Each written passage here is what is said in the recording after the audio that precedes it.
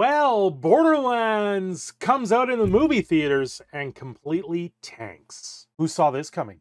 Who saw this coming? I don't think there was anybody on YouTube that said that the movie was going to tank so badly that it just felt like it was tired and without feeling. Oh, wait, that was.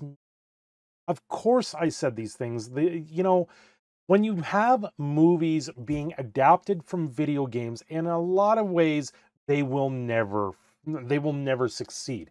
You know, then you get the outlaw outcrying movies like Super Mario Brothers, which does amazingly well. But Borderlands, when I saw the trailer, it, it did not scream to me like it was going to be a good movie. It felt it felt like it was without feeling, and they were just going through the motions to make a movie based on Borderlands for the sake of doing it and not to keep the fan service alive. Well, what is Forbes saying about this? Well, Borderlands bombs with $8.8 million weekend, a fourth place debut. Oh my God. It's like video game movies. We're back to the to the poor video game movies that just will not succeed. The Borderlands movie is the latest video game adaptation attempting to make its mark on an era of the so-called curse of the genre has been broken by other films and shows that did not go as planned, and now being panned by critics and audiences, the film has arrived with the problematic fourth place debut at the US box office. The huge success story of the Blake's Lively It Ends Well, I've never even heard of this, doubling its $25 million budget in the US.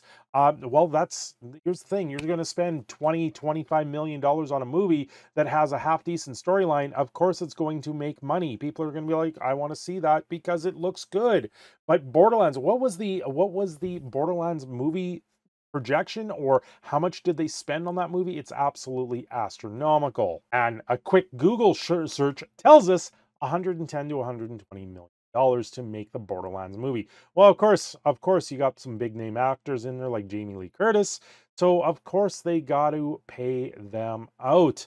But obviously, this was the type of movie that shouldn't have been starstruck, that shouldn't have had well known people in the industry doing it. It should have been all nobodies and it probably would have succeeded a lot better behind a director that could have told the story a lot better.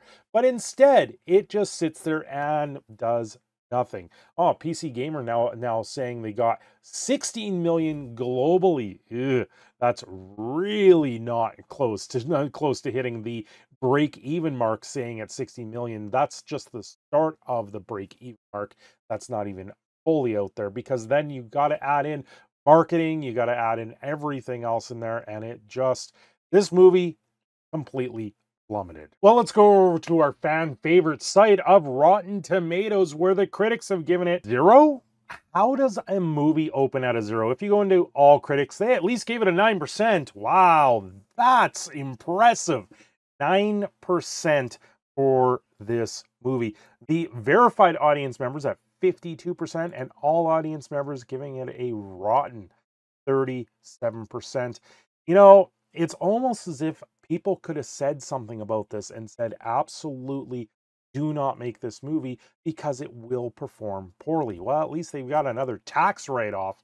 You know, eh, when Sonic the Hedgehog did that and came out with Ugly Sonic, at least the internet was able to step up and say, you make this, it's going to fail.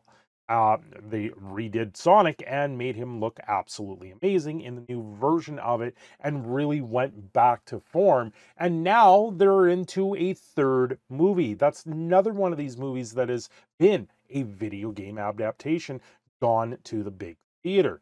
But this one in particular, Borderlands, I tell you, it was no, I, I didn't think it would do very well in the first place.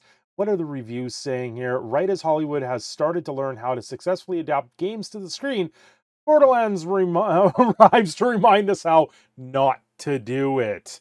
Uh, that means it's probably injected with everything nobody ever asked for, and it's supposed to be absolutely ridiculous jokes, and they just fail to hit. Cate Blanchett, Kevin Hart, Jack Black, Jamie Lee Curtis. I'm sorry, $120 million for this budget, and you put in all of these actors that are probably each asking for $20 million just to be in there.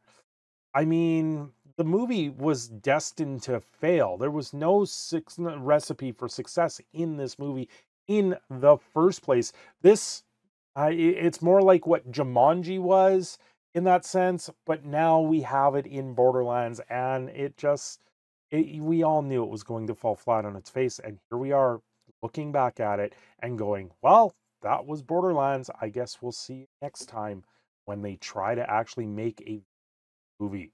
Anyway, I'm your Proud Canadian Phoenix in a Shadow. I'm signing off here. I know this is a little bit of a short one, but it wasn't that big of a topic. Have yourselves a great day. Don't forget to like and subscribe.